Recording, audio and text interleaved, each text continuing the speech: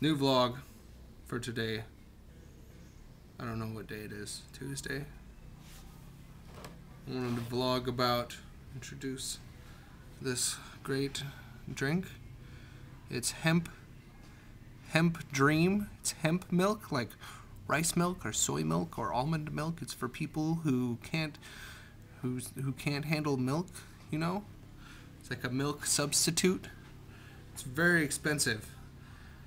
Hemp is supposed to be like the most economical fucking thing in the world. And this little, there's four servings. There's four eight ounce servings in here. Uh, and it costs like two and a half bucks at Super One.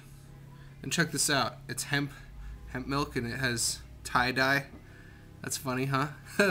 dude, hemp milk, dude. Oh, far out, man.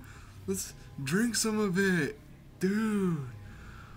And then I can't remember where the glasses are. Wow. Here, I'm gonna have some of it right now.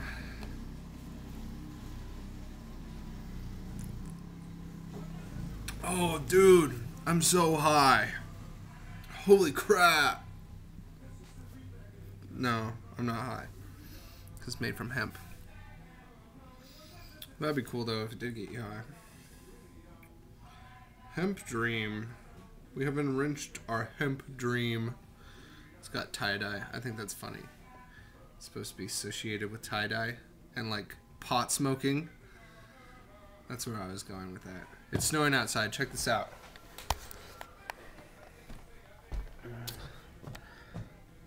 Snowing like fat, like fat snow. And there's my sidewalk out there.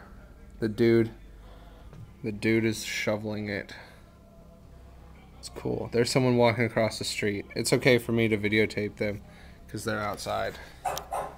It's totally legal. Shut up, dog! So I wanted to share that with you.